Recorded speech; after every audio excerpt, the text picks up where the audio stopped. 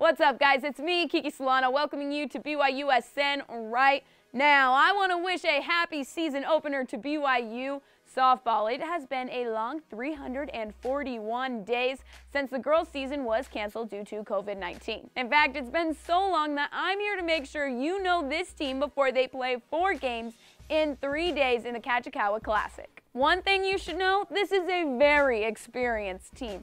The one good thing to come from the COVID season is an extra year of eligibility for these athletes. Because of that, this team returns every player from last year's roster. That includes Riley Jensen McFarland and Arissa Paulson, who were named All Pacific Region first team players. This after Arissa was named WCC Pitcher of the Year. And Riley, well, Riley led this team in batting average, hits, runs, doubles, slugging percentage, and home runs. Okay, girl. Yeah, I see you.